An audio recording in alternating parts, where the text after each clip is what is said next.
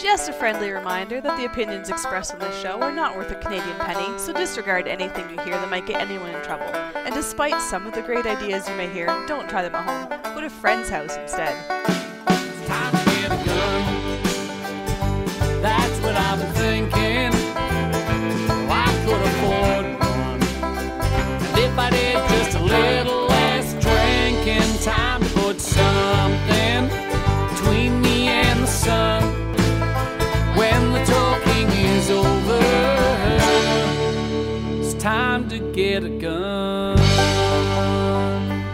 Everybody, welcome to Slamfire Radio, episode 452 uh, for April 21st, 2021. I'm one of your hosts, Kelly. And I'm the other one, Adriel. it's small, it's short, it's sweet. That's it. I like it. Yeah. And we didn't Easy. screw it up this month, and I wasn't muted. It's pretty good. I'm it's 30 in. Arizona. Is that Fahrenheit? It's probably Fahrenheit, right? 30 It's not that- Fahrenheit? that's not that warm. Yeah, that's cold. Mm, Yeah, that's cold. 30 Celsius is freaking hot. I'm just messing around. I can't imagine it's uh, it's 30 Fahrenheit in Arizona. Uh, um, well, now we're gonna have to look it up, see what it is. Hmm. Anyways, so it's only the two of us tonight. Mo's uh, Mo's away. He's uh, he's uh, you know, what is Mo doing? Did he give us an excuse this time? He said something about just having raw, unadulterated hatred for the viewers and listeners. Yeah, I heard that last week. something It was yeah, underlying. something about raw hatred. Yeah, that's all I heard. Yeah. heard. And speaking of which, no, um, Kyle, he's off tonight. He's getting a new car or truck, truck. I was gonna, I was, truck. yeah, it's a Oh, truck. Does everybody have trucks in Alberta? Mm, An Not everyone. And a horse and a cowboy hat. some of us have minivans that cosplay as trucks. you know what? I okay. Let's talk about what we did in guns this week, and I'll tell you about my car, my right. SUV that is was similar to your your minivan Hmm. This weekend. Anyways, what we did in guns this week is brought to you by the Calgary Shooting Center. It's Canada's premier firearms retailer. We have nothing listed here, but I'm sure go this week they have the 590A1 in stock. Uh, this is Oh. the Mossberg. That's kind of like a combat shotgun. It's the one that's got the little like shell that sits in the stock that you can like pop forward to the chamber if you need to, and it is a thousand bucks. Sweet. Awesome. Okay. Go over there, say hi to them. Wonder how they did on Glock days, by the way. I bet you they sold a Glock or two. I'm, I'm a, yeah, I'm thinking they did one Mhm. or two. Anyways. All right, Adriel, you're up. There's only two of us, so what you, Mhm. what'd you do? Uh, I hit the range. Uh, let's see. I'll I'll show you what I discovered at the range. So Okay. last time I went to the range, I brought out this Jar- Jard J180. Uh, it's a 180-ish uh, rifle. Advantage being that it takes a gas tube, so you can change your uh, uh, change your barrel if you need to. And uh, I ran into some problems again. Um, so last time I ran into some cycling issues, uh, and I ran into some feed issues, and uh, so I oiled, oiled it up. The cycling issues went away. Um, it still doesn't really like steel case, case ammo, it, it, it, but it ran the brass stuff just fine. But the other issue I ran into was uh, in mag fit. Uh, so this magazine's in right now, and the problem is some of these magazines are so loose they just come right out. I need Pull to push right the out. magazine button. The magazine button's No. up here, right? So that it just doesn't fit very tightly with some of them, and uh, and that's really the uh, the issue I ran across. Um, some of them did fit tightly, like these cross mags fit nice and tight. Oh, sorry, no, they don't. Oh, these cross mags don't fit tightly at all. uh, this metal mag. Oh No, that not, that not will that come one. too. Not, not And that the trouble is, like when you're shooting it, it's it's violent. It it moves and stuff, and then the magazine falls down a little bit, and then it doesn't feed.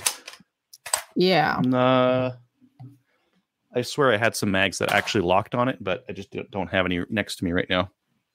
So that was um, that's what was causing me issues was uh, was magazine fit. Um, also had out the uh, the C71 that's uh, Spectre Ballistics uh, 1022 receiver. Yep. Um, yeah, that ran fine. Good. It's uh, I like that one. It's got the uh, the rails is a little bit far forward of the uh, of the receiver, so it's uh, What nice and like. secure on it. Yeah, yeah, it's got, it's Yeah. got enough room for the scope. Like on, on a 1022, you really do need like a little bit more. Like a couple extra spots ahead of where the the rail is on a typical 1022 in order to get the scope for, far forward enough. You know this. This is uh, this is very standard for you, um, but uh, for everyone else out there, uh, it's, it's a common thing with Rugers. Um, and then oh, yeah, I brought my M1 Garand out. I brought like three clips. I, I brought uh, my nephew out there, and uh, I just brought three clips clips because I'm like, ah, he, he won't want to shoot it. No, that's the one he liked the most. he wanted to shoot the uh, the M1 Garand all the time. Uh, so uh, so we had that out there. Um, was it your nephew that shot the bunny? Mhm. Okay, the M1 Garand is bigger than he is. yes, yeah. and he also shot that, yeah. Was that on the weekend? Was that on the weekend? Yeah, you Yeah. Yeah, Yeah. yeah, yeah. Sorry, I um, yeah, I went out to my parents' place and uh, shot a shot a rabbit out there, and ate it, and uh, yeah, yeah, it was good. Okay. Does my was it- voice sound weird? Am Yeah, I I am I not coming through correctly? Uh, or am I just like was that the uh, was that the Rona like seeping through there and uh, getting into the microphone? you sound good to me. But what do I know? you. That's all. That's all that matters. my books. Um, yeah. Anyways, yeah, it was it was good to get the M1 Garand out. It's, it's it's been a while since I've shot it, and uh, it's such it's such a soft shooter. You know, you look at the, like metal butt plate, and you're like, oh man, this thing is gonna beat me up. You shoot, you're like, oh no, it's actually it's fantastic. Just shooting surplus 308 ammo. It's so good. Awesome. Uh, I, I love shooting that gun. Every time I pull it out and shoot it, it's so good. Mm. It's somewhere back there. Somewhere back there. Yeah. Somewhere back there. That looks a Uh, little different. It's a little bit different, right? So I put in some slot wall. Uh, that's the white stuff that you see up there.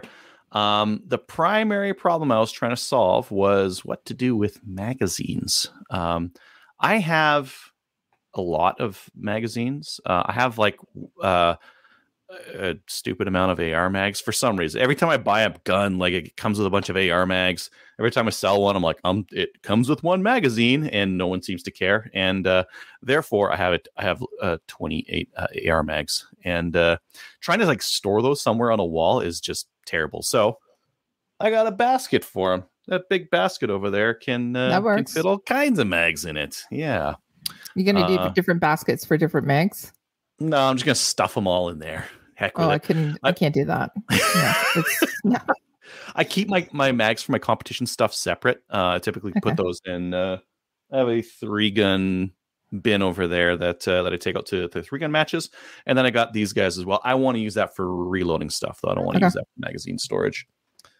Um, yeah. So uh, the slot wall was from Canadian Tire. I was looking at pegboard and that kind of a thing. Yeah. Um, so like with pegboard, uh, just standard wood pegboard is fine. It uh, it it it would hold like whatever I need to hold on it. It looks it looks a little cheap. It looks Yeah. a little cheap. Yeah, it looks a little bit like uh, uh, like a ten or twenty year old like wood workshop kind of a thing. So I could paint it. I could paint it black or something like that.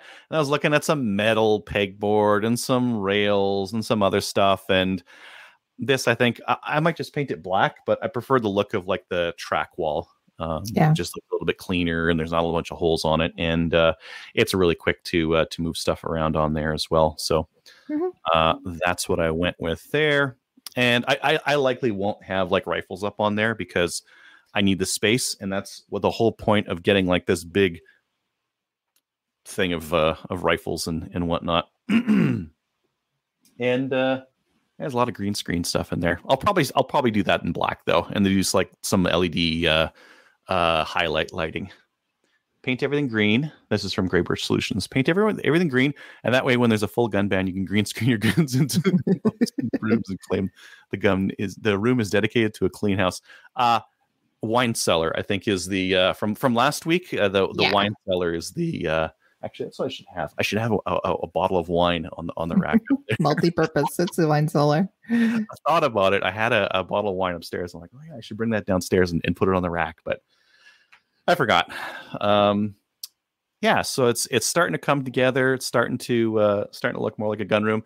Right now, I am working on lighting. Um, I think I need to get my ceiling in first. I think I need to put get my drop ceiling in and then put the lighting in because I don't know what to, where to put it. I have like nice channels and that kind of thing. I don't know if you guys saw when when I looked here. I'm just I'm literally just stringing it just to test like the the light levels Uh, I can see I need more, but I have more. I have I have You tons lots. of LED lights. Yeah, yeah, yeah. So uh, I'm uh, I'm gonna use them. I'm gonna use a lot.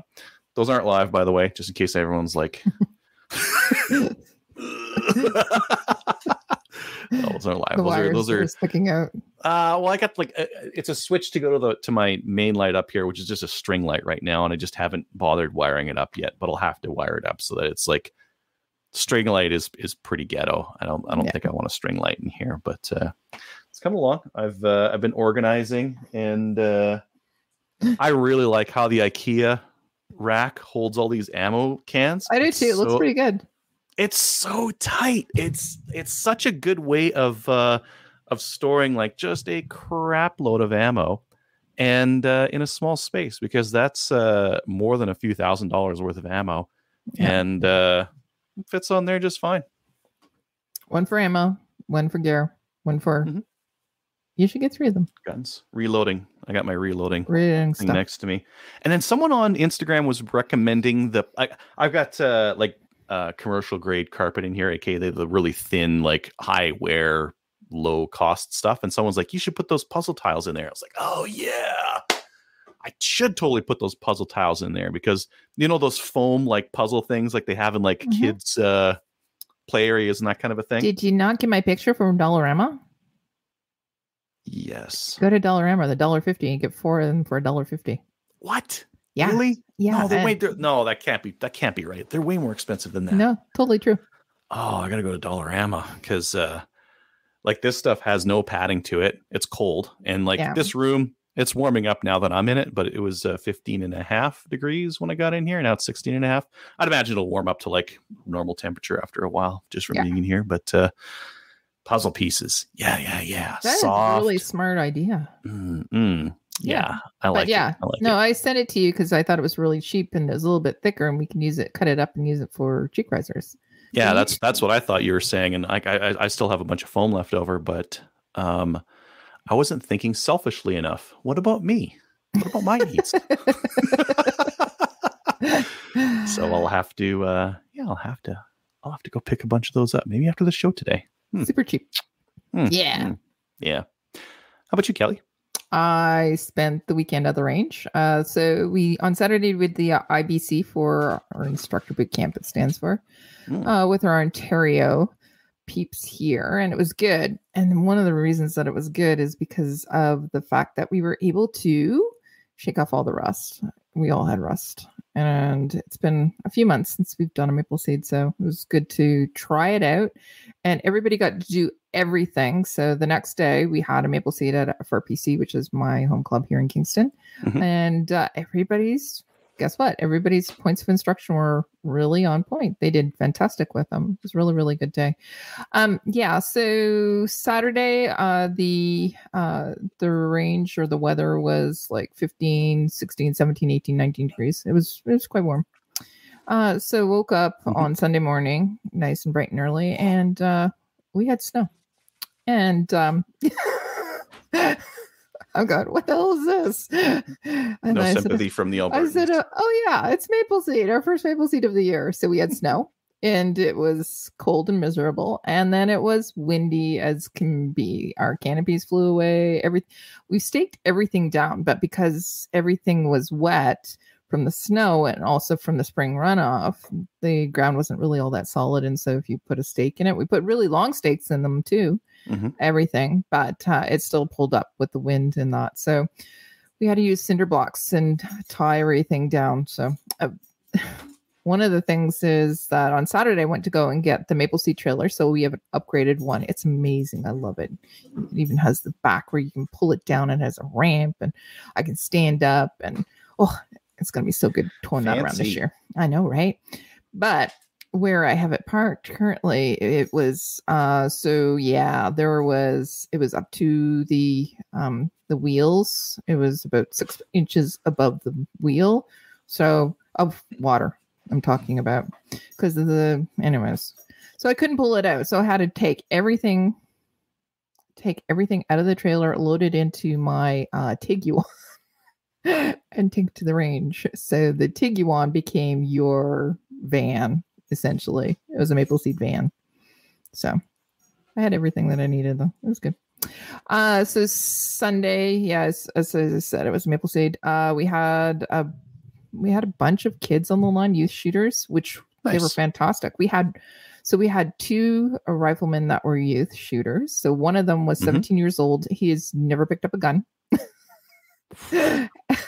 he shot a rifleman score, and then we had and then we had a 12 year old and wes wes has been shooting for quite a while. His dad Mhm. is rob foot and rob foot is a listener. He's actually been on the show as well. He did our goose hunting um show. So Mhm.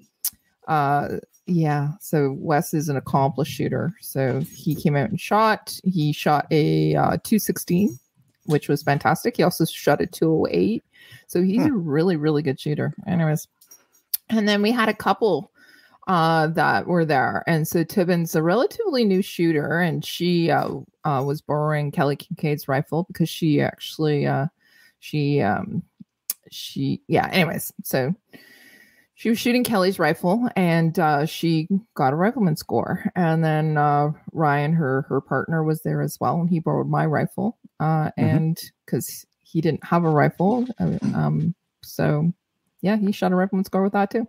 So a couple and then two U shooters all got rifleman scores. And the people that were there, they were fantastic. They were really good. Um, they were a really good uh, group of people. We had several that were in the 200s to 205 that almost qualified.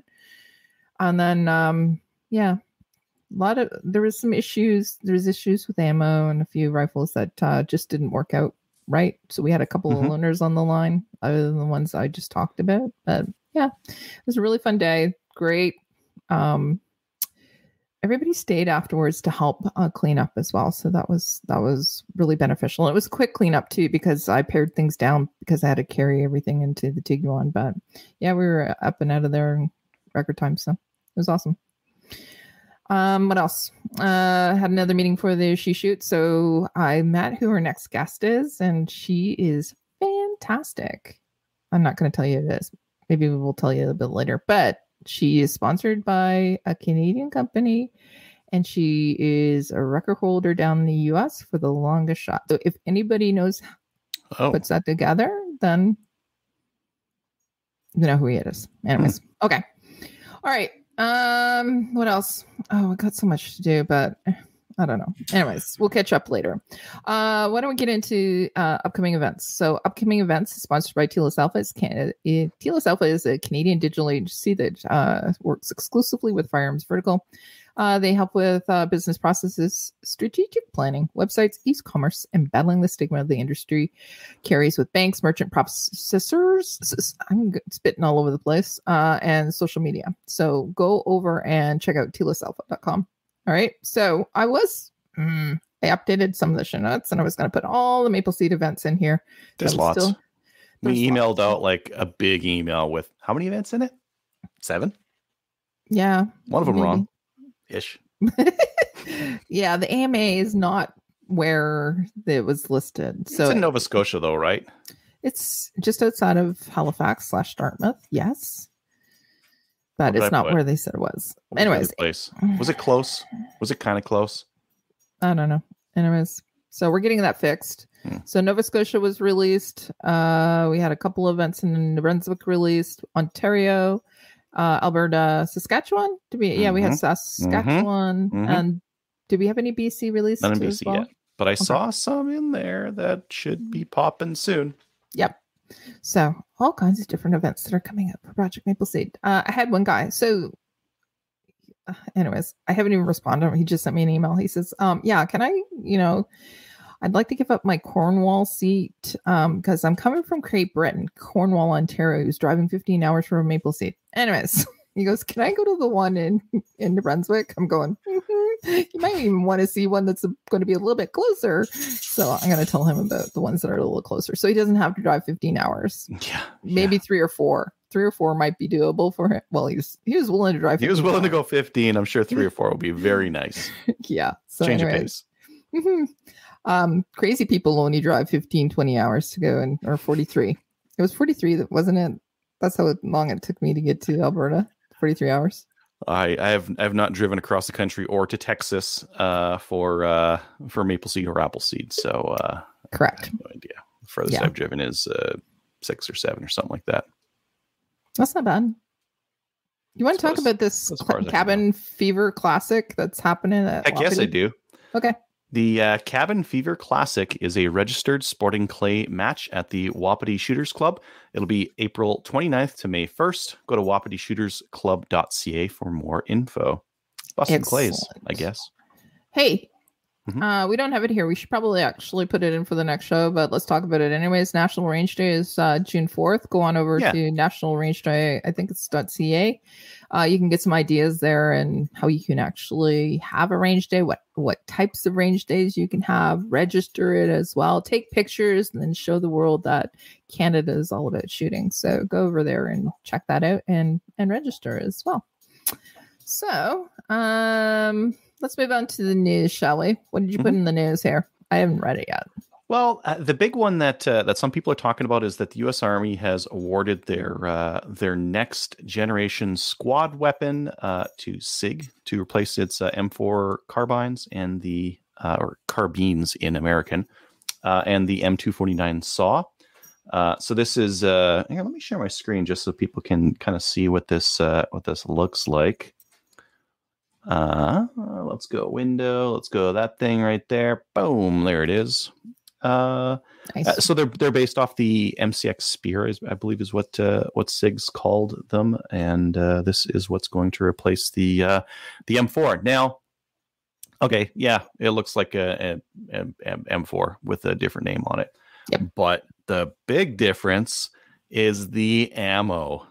Uh, so back in the 50s and 60s, you know, the U.S. Army was was running like M1 Garands, and then they ran the uh, the M14s, and uh, those were both pretty big battle rifles with uh, 308, 20 round box mags. And then after a while, they're like, "Oh man, this is terrible. We should uh, we should get something that's like got a smaller cartridge. It's easier to carry. That's not quite so heavy." And they went with the uh, M16, and and they went with that.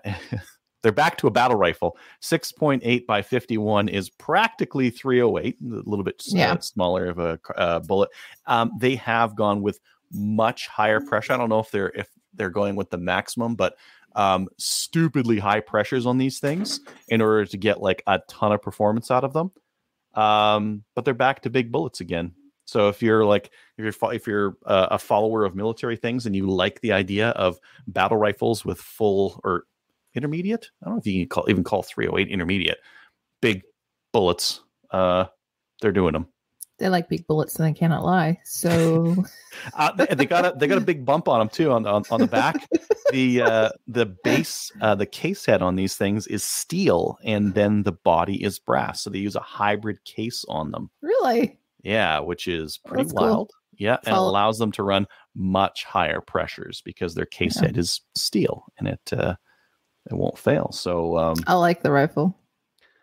yeah, the paint job's cool on it. Uh, I don't Oh. think that. Uh, I don't think that uh, the issued weapons will look like that for very long. They'll probably be all worn out and crappy looking in short Mm. order. But uh, yeah, that's uh, Imagine the U.S. military can spend money on on their military.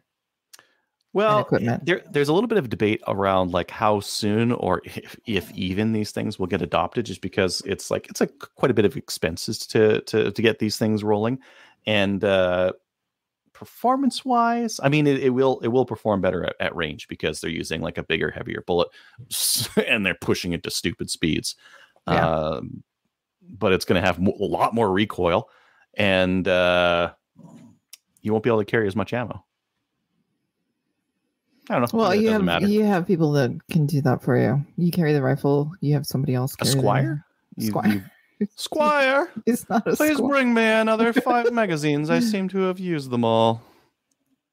No, No, Is that how it works? Okay. Uh yeah, that's that 6.8 by 51. And uh, if you like, there's uh, there's more articles on that cartridge and just the nutso things they're trying to do with it. I think they're I think I read 80,000 psi. Crazy, like a ton, a ton of it. The article says they produce less recoil. I say bull. That sounds like some bull. Maybe less than 308, uh, but they're they're trying to get like the same performance as as a like a 270 short mag would, would get out of it. I can't imagine it's going to have less recoil than a uh, a 556, unless maybe they get it with the with the weight and with the suppressor. I don't know. I don't know how that's supposed to work. Um, and then one that I just noticed here. Um, so full 30 sends sends me emails. Full 30 is a video hosting platform for gun stuff, and I've got some some videos on there. Uh, and I noticed that they are migrating to JUXXI, which is like a more general purpose uh, video hosting website. Mhm. Uh, so they're they're migrating all their content, and I think their creators over to uh, over to that platform. Uh, hopefully, it gets some traffic.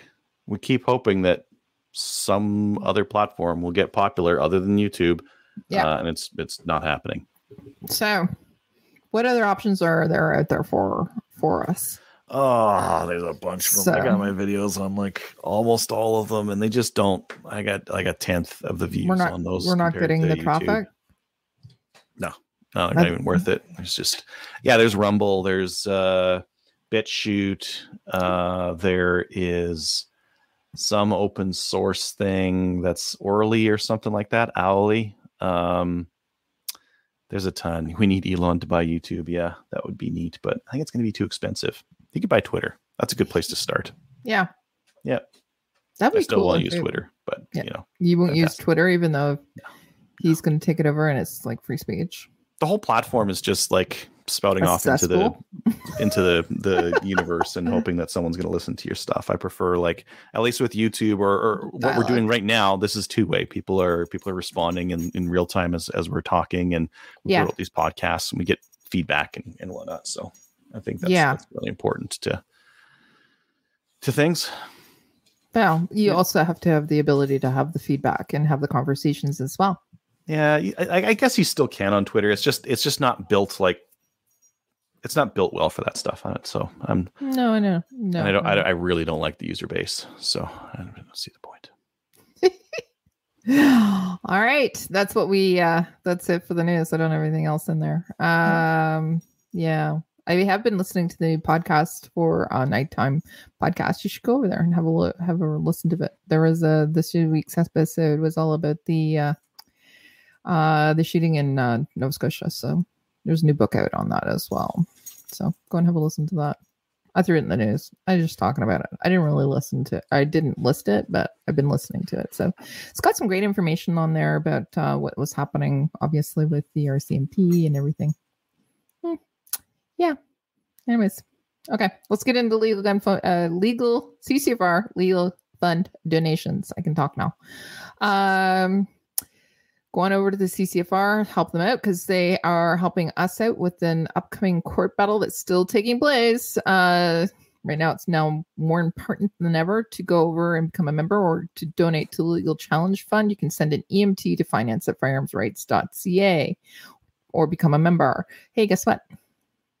Chicken butt. Yes. Mhm. No, I just sent in the paperwork for us to become um, um, not business members. We're switching to club range members.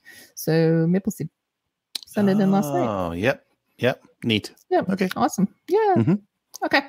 So, uh, New Gun Stuff. New Gun Stuff is uh, brought to you by Bolt Action Coffee. Slamfire Radio is a brand ambassador for Bolt Action Coffee. The coffee is some of the best coffee you can ever get your little hands on. So, uh, go on over to uh, boltactioncoffee.com and give a discount code of Slamfire, all capitals, all one word, and, and then you'll get it sent straight to your little house. And you can agree with us, and we'll have coffee in the morning, and you can send me pictures. Okay, so New Gun Stuff. I got some stuff here. So, You got some um, stuff? yeah, there's a couple things that are hap- that that's uh, happening. One of the Bren twos, uh, I believe there was some pricing announced for the restricted versions of those. They're expensive. They're like twenty eight hundred bucks. Um, coming soon. Uh, North Sylva will be bringing those in. I Run Guns has gray market ones if you want them right now, but again, they're restricted. Um, so they're expecting the non-restricted one to come in uh, right around September, October, kind of a thing. So, e- end of the year, end of the year for that. Okay. um, which uh, that's you know that'll be an interesting entrant. Um, I believe I, I, I took a look at some reviews on the um, uh, B&T APC 223, which is that Swiss one. And uh, the accuracy is not as good as you would expect for a uh, uh, for a Swiss rifle. Um, reliability is, is good as, as far as I, I know, but, uh, Accuracy is not there. that. Uh, well, it's like a, an, an inch and a half, which um, I don't know if you should expect more than that, but for the price, I think you should. I mean, if you had, if you if you spent three grand on an AR on an, on AR parts, it would be pretty accurate. I think you Hmm. could get like a pretty Gucci barrel. You could probably get it to one MOA and hold one MOA, and uh, I don't know. That, that I think that would be interesting. Um, there's a couple of other things that got announced that uh, I don't know if they're super interesting or not. Like uh, North uh, Iron Guns was announcing the PSA AR uh, V, which is like a nine millimeter PCC that uh, uh, that's possible to bring in, but uh, uh, I don't think that's relevant for us. And yeah, didn't really notice anything else that was uh, that was too interesting. Okay.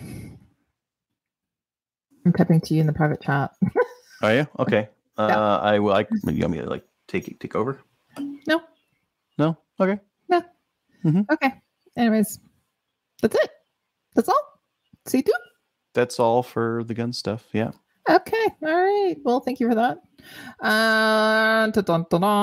So, uh, what we're going to do is we're going to get into the main topic. And I thought up this topic on the fly because you know what? We didn't have a main topic, but I was thinking about it. I got a message just before I left work tonight, and it Mhm. was from. Do you remember I was telling you about the um people that bid on the United Way range day Yeah. package and all Yep. that?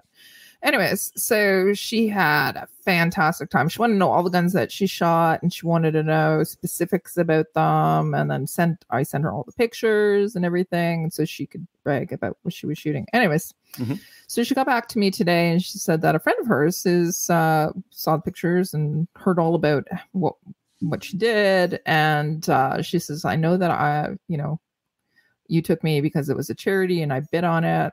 But she said, how much would it cost for one guy to go to the range and do everything that I did? And I went, this is a dilemma because normally I would take people to the range for free, but I cheap, cheap spent 350 bucks to go to the range. So what do I say? So I thought for the main topic tonight, people taking people to the range. What are your expectations, especially with the prices of uh, fire or ammunition Ammo. now? What? Yeah. Ammo. Uh, I was I was thinking the same thing. I um I took my nephew out and uh, I got him to shoot the cheap stuff mostly. Yeah. Twenty twos. Well, Yeah. that's it, right?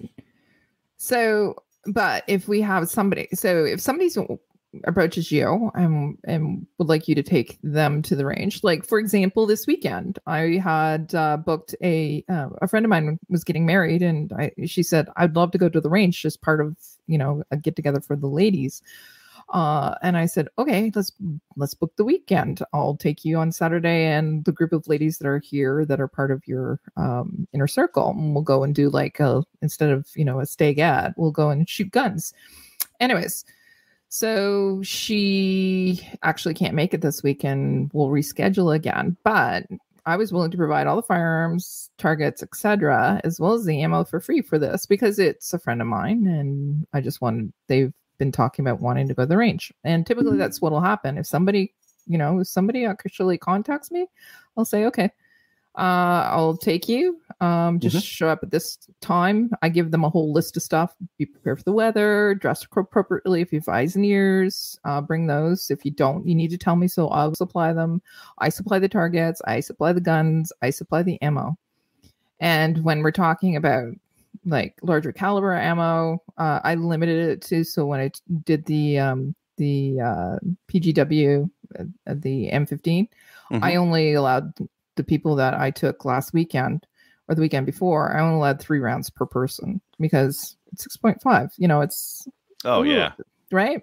Mhm. So I'm not giving them a whole, you know, 20 rounds to shoot down range of that, obviously. So, especially if it's on my dime. So, what's the expectations? What do you have? And people that are watching, listening, what is your expectations of taking people to the range? Mill Like- serp. Milsurp ammo. Mm, 22s, Milsurp. Oh, yeah, you want to shoot? No, I'm bringing SKS. I'll bring my Mosin. That'll beat you up. You won't want to shoot still after that.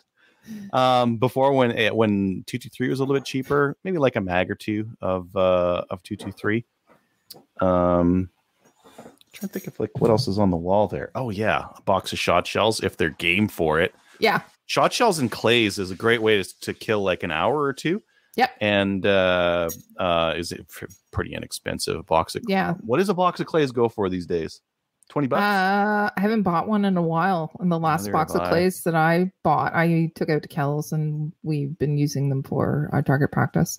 So uh, there was some on the range uh, this weekend or the last Mhm. weekend, and I put them in the uh, up on the berm. And uh, yeah, I, we had a couple of sh- Oh. you know twelve, couple of boxes Mhm. of twelve gauge and a couple of boxes of twenty eight. I know.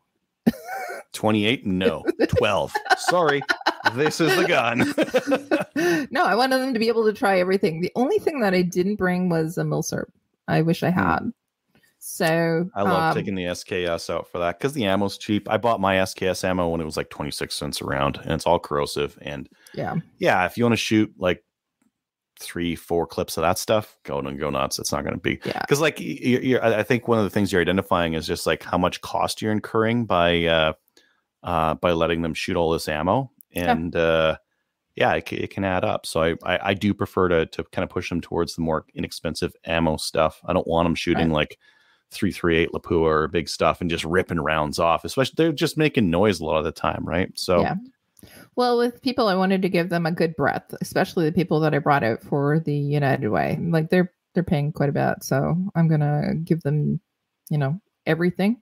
Um, but uh, I do make them aware of like these are people that just got their pal or pals, Mhm. and the two couples that I I took out a couple of weekends ago.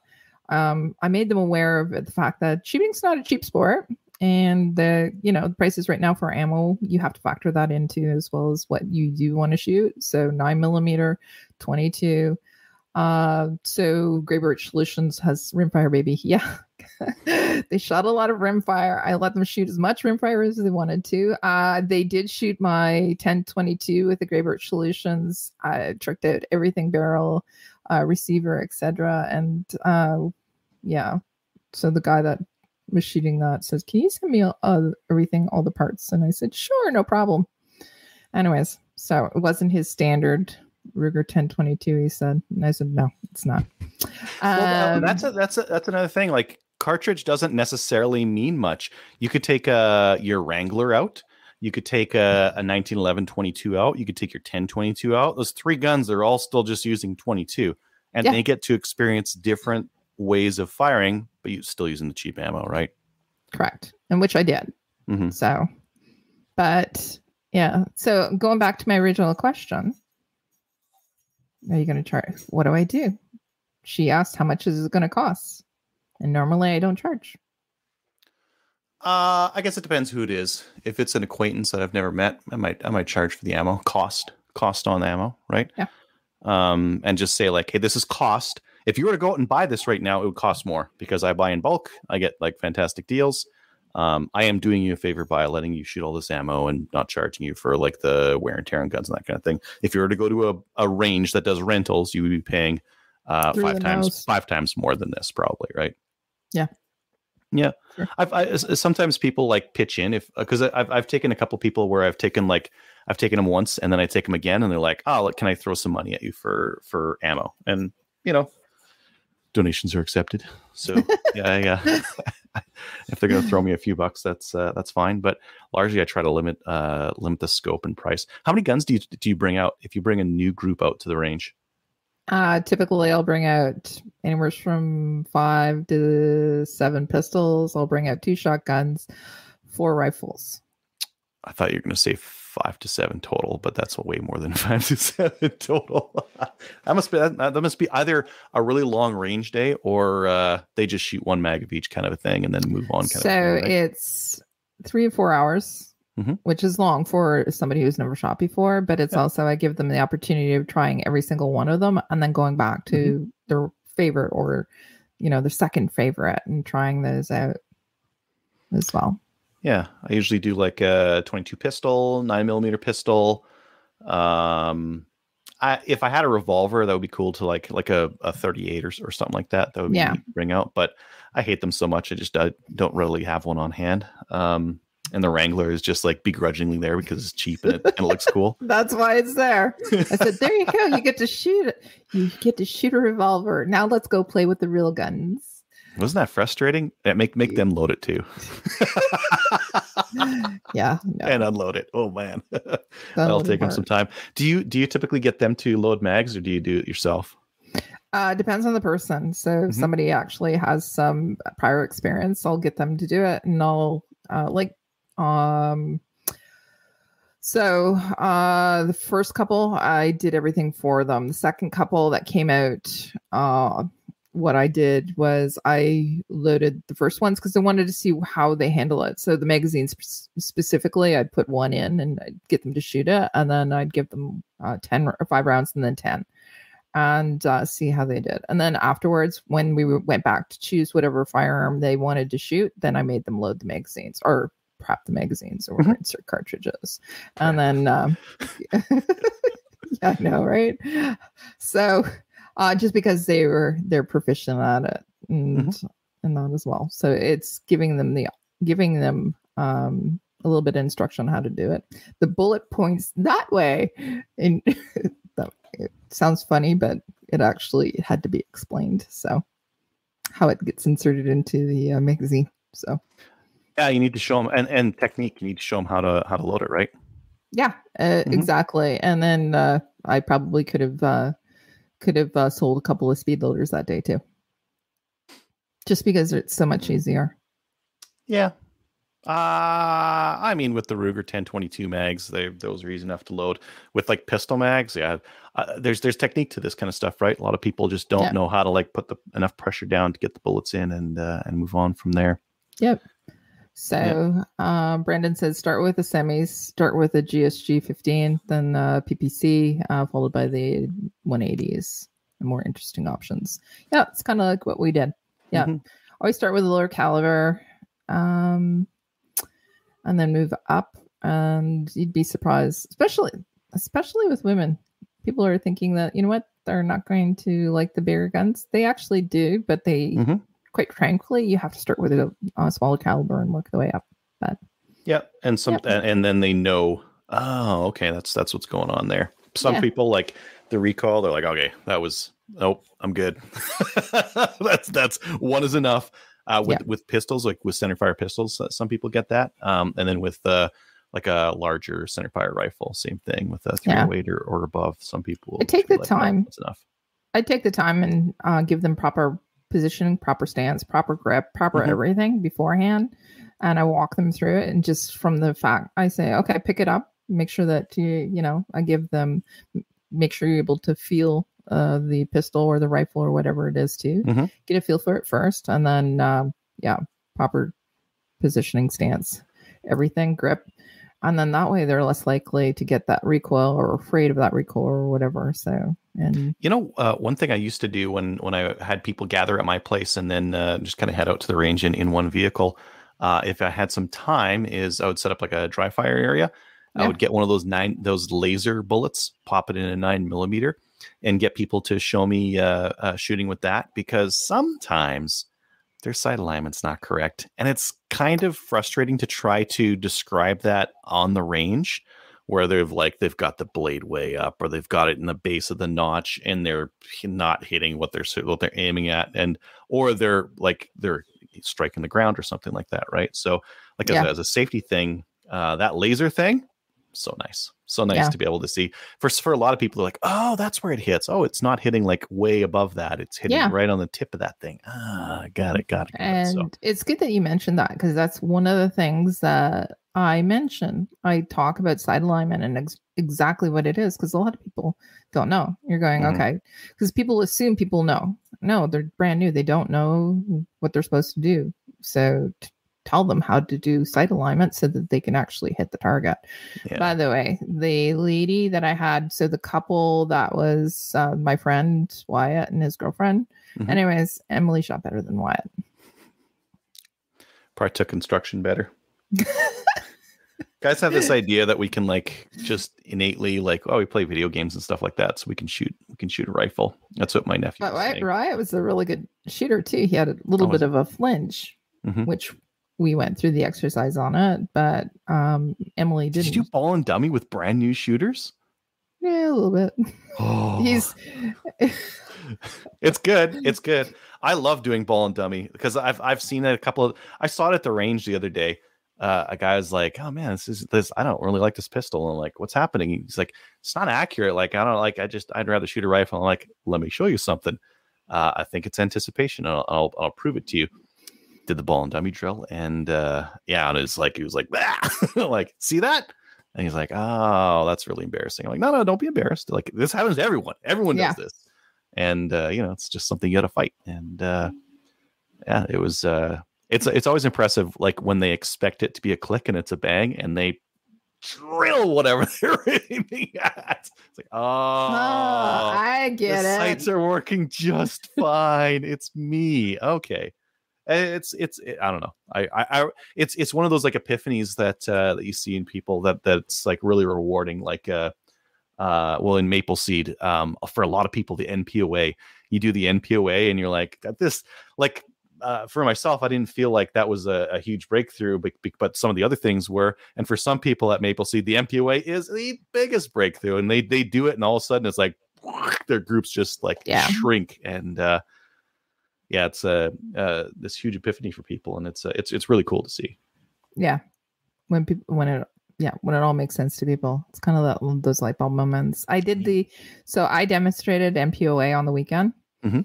and uh and all i hear from the back was oh my because i'm doing the so for those of you who haven't uh, done the program we we demonstrate with a laser um natural point of aim and we demonstrate muscling and recoil and and uh, all kinds of things like that. So um anyways so i was doing the uh the muscling and uh so uh i think it was patrick. Patrick he's watching. He did the npoa um uh point of instruction.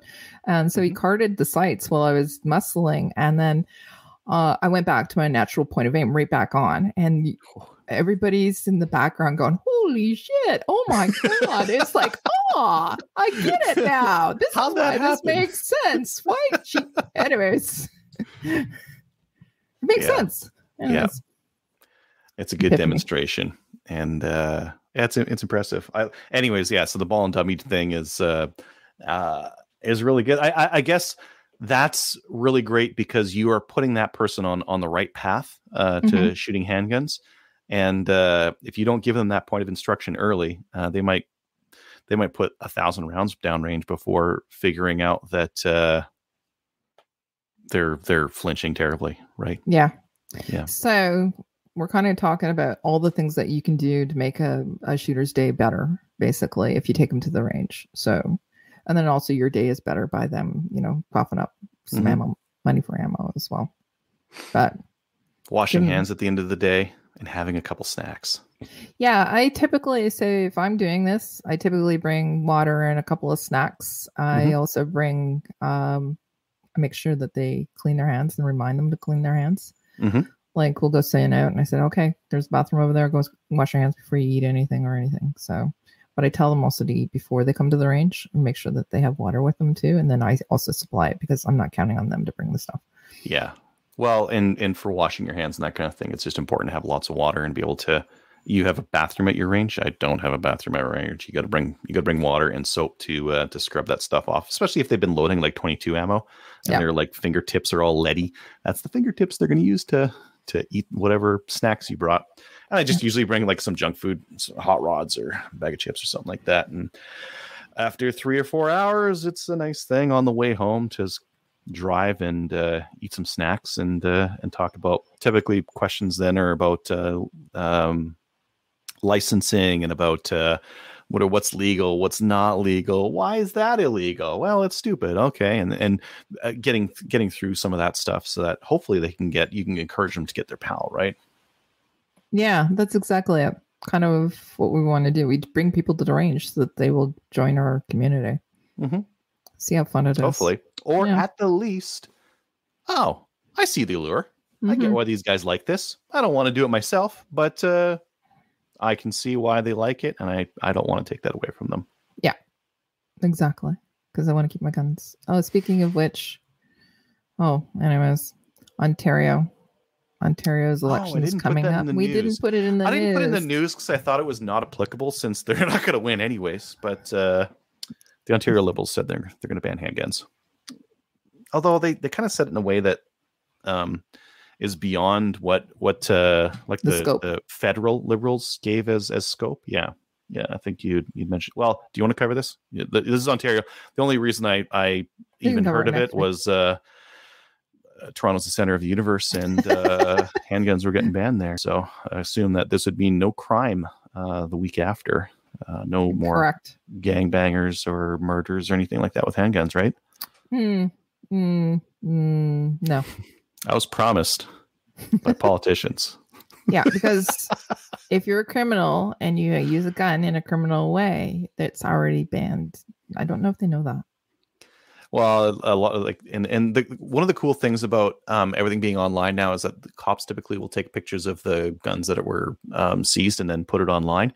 And you look at them, you're like, "That's a shorty Glock." Those were never legal in Canada. That's a prohib for sure. That's a That's- smuggled, a smuggled prohib. Um, so the nice thing there is you're able to like, if it gets posted on Reddit or something like that, you can say, "This is a smuggled gun," and people Yeah. will be like, "Oh, how do you know?" Well, because that's the only thing it could be. Yeah. Yeah, yeah. But people don't know that.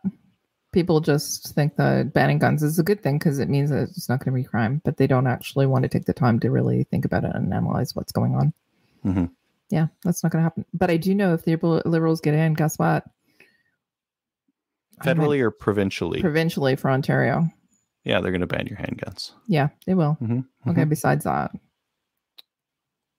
Uh, I don't know. I don't follow Ontario Okay. politics. Last time, the our Ontario um, power rates went through the roof because we were paying it off. Because, anyways, Mm. yeah, happening here in Alberta, actually. Not with Really? liberals. We've never had those. But the, when the NDP, NDP. uh, the NDP took took power, they uh, they shut down a bunch of the uh, coal power plants and got natural gas going, and uh, yeah, that, that sent our rates up quite a bit as well. skyrocketing. Well, Yeah. when uh, the liberals said that they were going to ban guns, then the NDP came up and said, "Us too." it's a good thing. Like I, I- um, I, I don't follow again on Ontario's provincial politics at all. But uh, if those two parties like um, had a coalition, you'd be screwed because they have the vast majority. The Conservatives only win because uh, NDP and Liberals vote split in uh, in Ontario. Mm. It's like in Alberta, the only the only way the Conservatives lose is if they vote split with an even further right party. Uh, and uh, We won't talk about that. as long as that doesn't happen, it, I can't imagine. There's a lot of polling that shows like the NDP would win if if there was a vote right now, but I think it's just bad polling. Hooey. Yeah, Oui. for Alberta, I think it's just too. Okay. Well, we got off topic, but we, we Oh forgot yeah, about we're talking about the other. Well, this is a conversation you might have Well, uh, that's on, the, on why. the dra- on the drive home.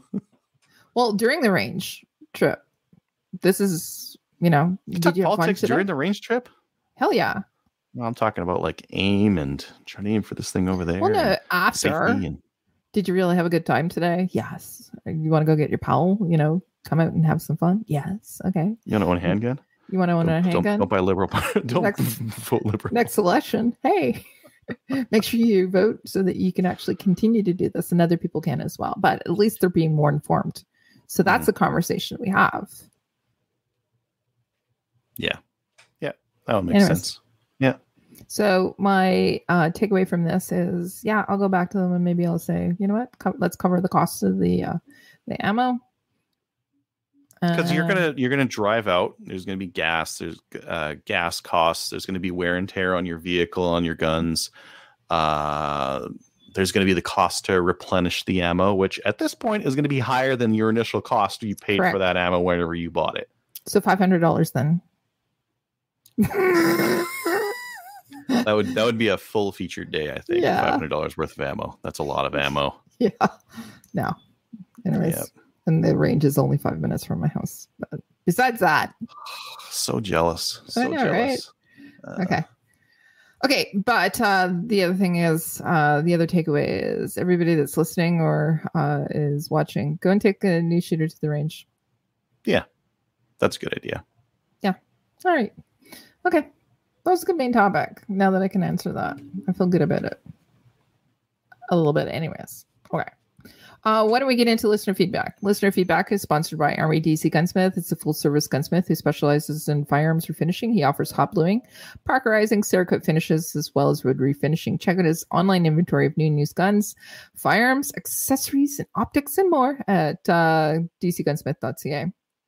Also, you can uh, check him out on Facebook at uh, and also on the Instagrams as well. And go over and say hi to Denny for us. By the way, check out it. He has some really good uh, sales on every once in a while as well. And I'm watching you type. And anyways, Did, did I? Did you lose your train of thought? yeah, because I'm watching Stuck you. at the station. Doug was just mentioning uh, if you're covering the Ontario handgun ban, that uh, make sure to brag about the Alberta CFO um, complaining Basic- to the feds about uh, the OIC and the fact it will do nothing. And that is Yeah. something that happened. The Alberta CFO sent a uh, a letter in um, to was it to Marco, uh, complaining about uh, the fact Yeah. that the OIC won't have any impact on uh, on anything that they wanted to have impact on. Exactly. He was out at the border the other day practicing being a border guard. He says if uh, politics don't work out, maybe he can fall back on that. I think he Who, should. Marco Blair? Yeah, yeah. Marco? Yeah. Yeah. Public safety. Was minister. he my boss? ever a cop? No, he's a No, politician. he's a politician. Blair was a cop.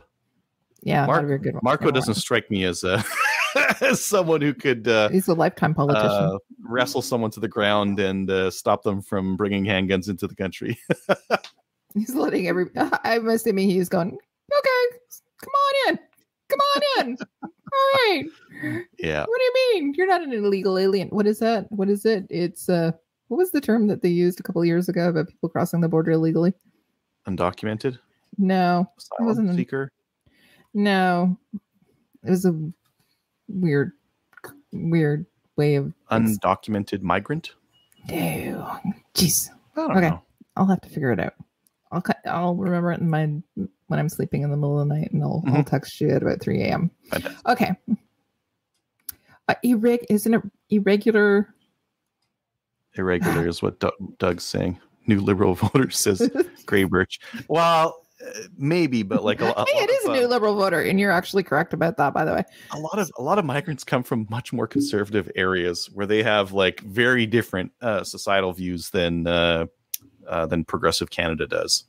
Yeah, but once they come into Canada and they get, uh, you know, they have the resources, uh, and they have the resources, and the government's letting.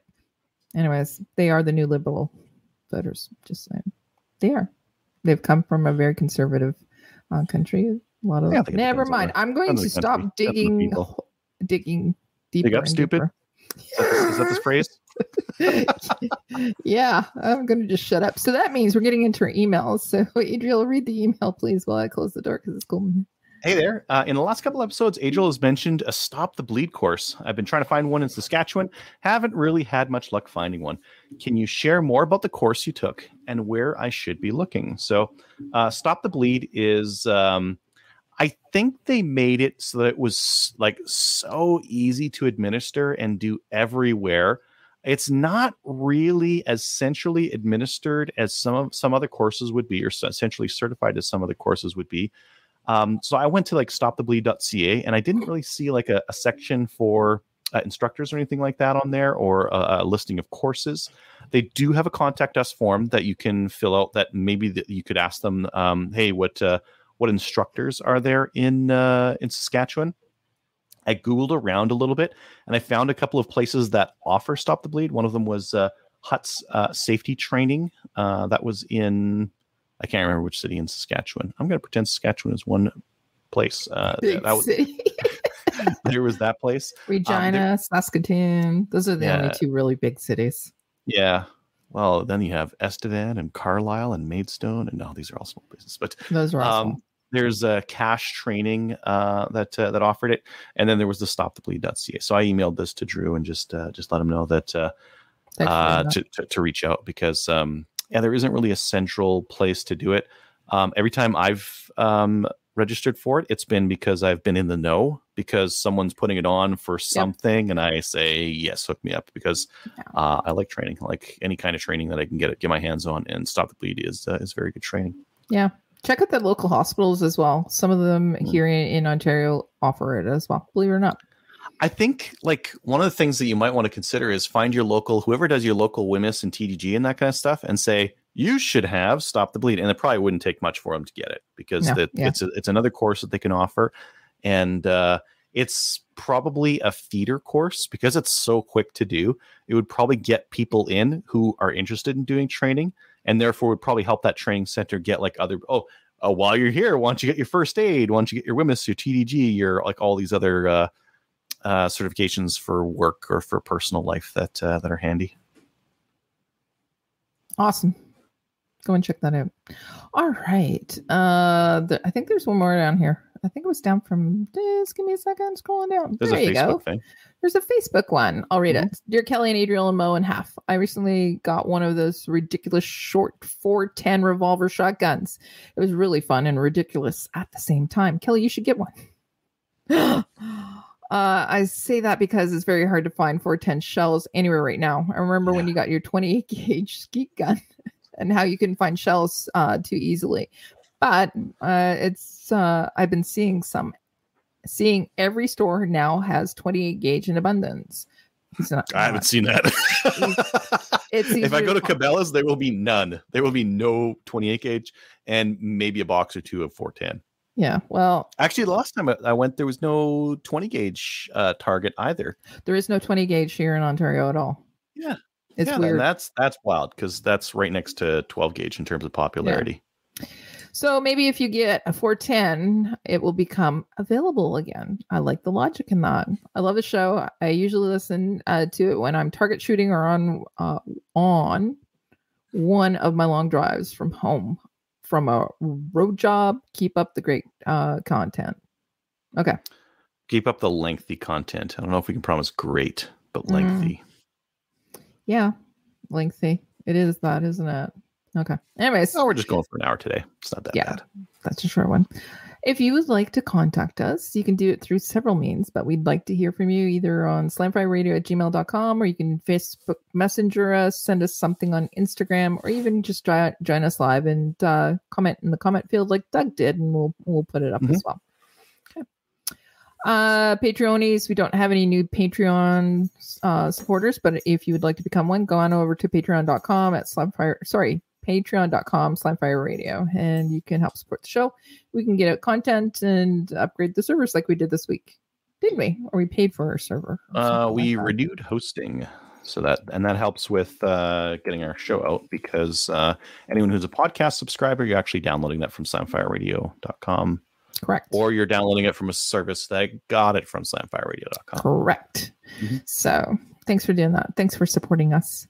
Uh shout outs adriel Uh, yeah, shout outs to everyone giving me these great, uh, great suggestions on Instagram and that kind of thing on uh, on what to do next with my gun room because um, I don't have it figured out. Like even this panel wall, I was like, I had some really bad ideas about what I was going to put up there, and uh, and a buddy of mine suggested the the slat wall, and uh, it looks good. Well, I don't think the white looks good. I'll have to paint that, but I think i actually overall, like, the white Yeah? yeah i do it does have like a does have like a, a very different i like how it like i like the layout of it wh- like where it sits on the wall compared to like the guns below i like that. Um for my shorty 20, 22s i'm gonna get like something to to jack them up a bit so that they hit that thing but uh yeah. Anyways uh thank you very much for the suggestions and uh i'll continue employing them. The next thing i'm gonna get is uh puzzle pieces. Hopefully something like uh obscenely like kid oriented like it has like uh like letters in it and that kind of a thing and it's like really sesame built for like a and like a like a discount childcare kind of uh kind of setup like I'll, I'll I'll I'll try to find something like that. Okay. You're gonna have to take a, like a aerial photo of your room after that. I have some other webcams coming uh so I'm gonna have a multiple webcam set up very shortly here. Awesome. Okay. I'd like to give a shout out to all of the instructors who came out uh, before both days. It was a long weekend of uh, shootings. So I know that a couple of them were retired on Monday. So uh, they did a fantastic job, not only with the instruction, but also with keeping everybody safe. And thank you to the participants who came too, who made it such a great day too. So I just want to give a shout out to all of ya. Um, yeah. Anyways, that's it for today. So let's sign off. Let's go over to Gunners Canada. Check us out there. You can uh, comment on our thread that that's there as well. Give us a like on Facebook. Uh, go and give us a review on Facebook too if you want to. Anyways, Facebook's the thing. Uh, join the CCFR, and guess what? We'll see y'all next week. Night, everybody. Later. So if you have any comments or questions for the show, please send an email to slamfireradio at gmail.com. Now go grab a gun and shoot something. When the talking is over, it's time to get a gun.